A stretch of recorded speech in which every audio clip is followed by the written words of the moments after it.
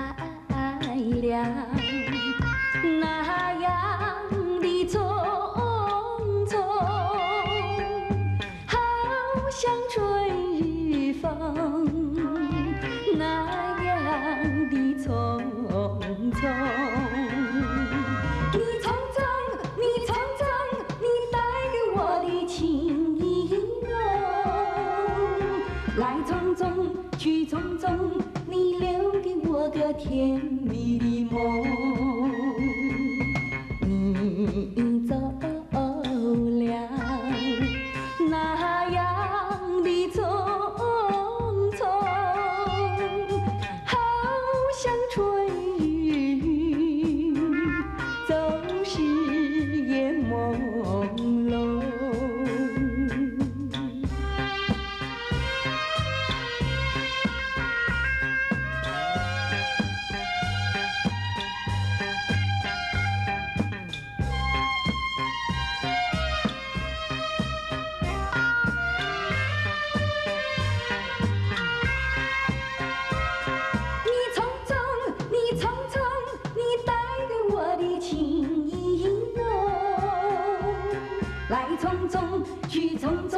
你留给我个甜蜜。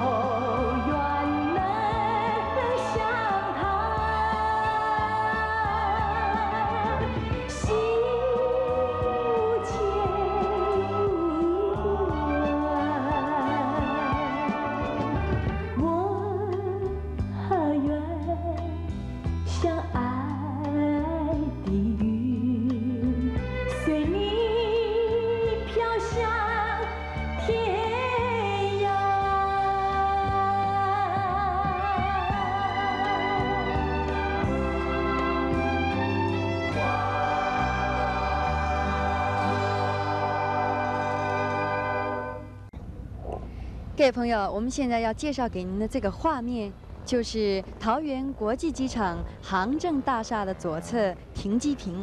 现在，请您看看，